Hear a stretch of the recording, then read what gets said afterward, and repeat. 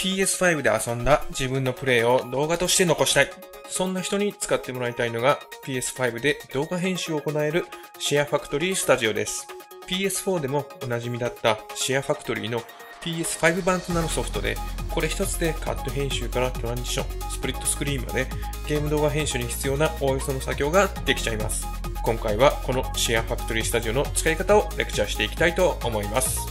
まずは基本となる録画のやり方から解説しましょう。PS5 ってコントローラーのシェアボタンから簡単に録画が行えるんですけど、初期設定のままだとちょっとやりにくいんですよね。ですので、設定のキャプチャーとブロードキャストの中にあるクリエイトボタンのショートカットをビデオクリップ向けに変更します。こうすると、シェアボタンを2回押すと、その時点から録画開始。再び2回押すと録画終了です。ただ、これだと動画に残したい部分を狙って録画しなきゃいけなくて、アクションゲームとかだとあんまり現実的ではないんですよね。そういう時はシェアボタンを長押しすると画面下部にメニューが表示されるので、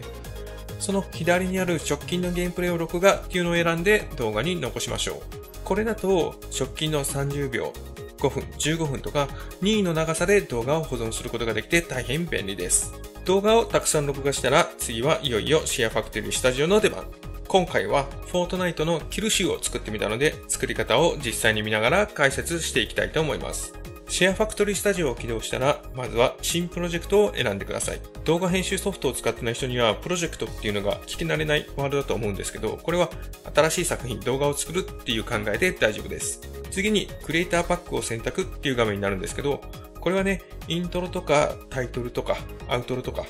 それぞれに適用するスタイルのことになります。サイバーパンクとかアニメ調80年代など好きなテーマを選ぶと次の画面でそれに沿ったイントロなどのテンプレートがビデオクリップとして表示されます。この画面では自分で録画した動画も表示されていますよね。ここで動画編集でどのクリップを使うか事前に選ぶっていうことになります。でも実際のところクリップって後からでも追加したり削除したりできるのでここでね必要なものを全部選んでおくっていう必要はありません。ちなみにテンプレートのイントロ、タイトル画面はこんな感じです。結構クオリティが高いものが揃っています。もしね、オリジナリティを出したいっていうのであれば、無理してテンプレートの素材を使わなくても大丈夫です。使用するクリップを選んだら四角ボタンを押してプロジェクトを開始してください。こちらが最初に見る編集画面の基本 UI になります。画面下部にさっき選んだイントロとかアウトロ、動画がすでにタイムラインで並んでいますよね。その下にあるのがシークバーと呼ばれるもので、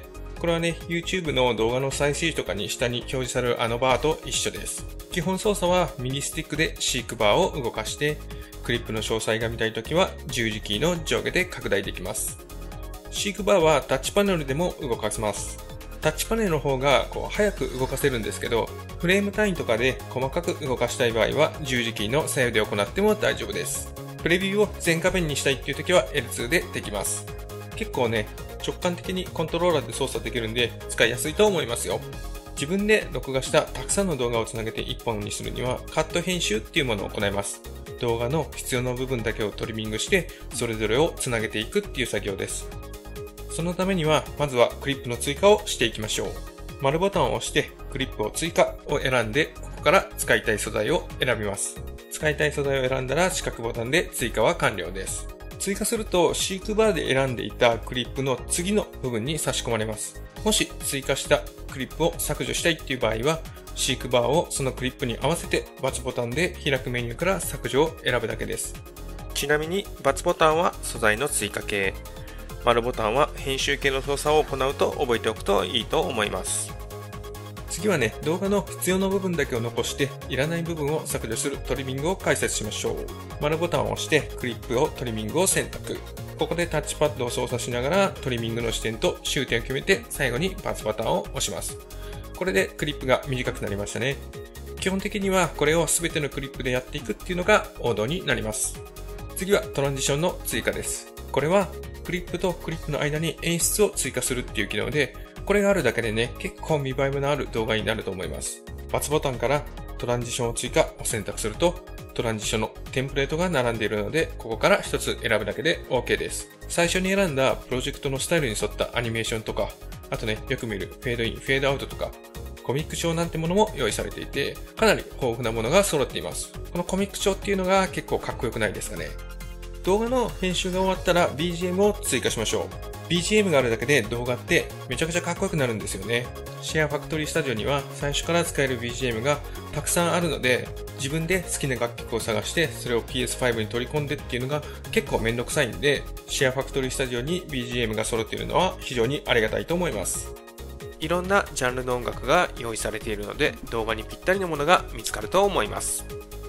選択した BGM は一旦シークバーを止めていたところを起点として差し込まれます。左スティックを押し込むと UI に波長も表示できるので BGM と音楽をかっこよく合わせることも可能です。この動画だと BGM の開始位置がずれているので丸ボタンを押してミュージックの移動で開始位置を調整します。移動は右スティックと十字キーの左右でできます。差し込んだ BGM はフルの長さで入ってしまうので、これもね、動画の長さに合わせてトリミングしてあげましょう。丸ボタンの編集メニューからトリミングを選んで、動画のトリミングと同じようにやれば OK です。あと、このままだと BGM とゲーム内の音楽っていうのが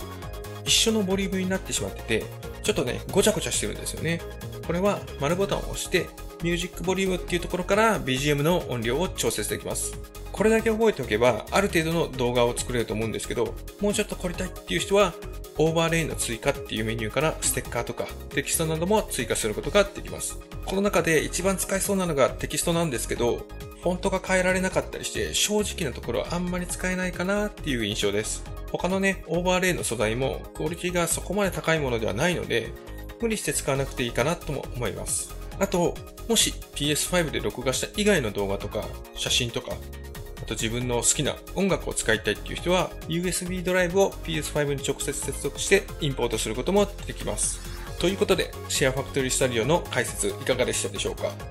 ？PS5 だけでもね、これだけのゲーム動画作れちゃうっていうのはかなりありがたいし、あとこれが無料で使えるっていうのも嬉しいんですよ。今流しているサンプル動画もシェアファクトリースタジオだけで作ったものなんですけど、結構かっこよくないですか？ゲーム動画を作ってみたいっていう人は、シェアファクトリースタジオを活用してみてください。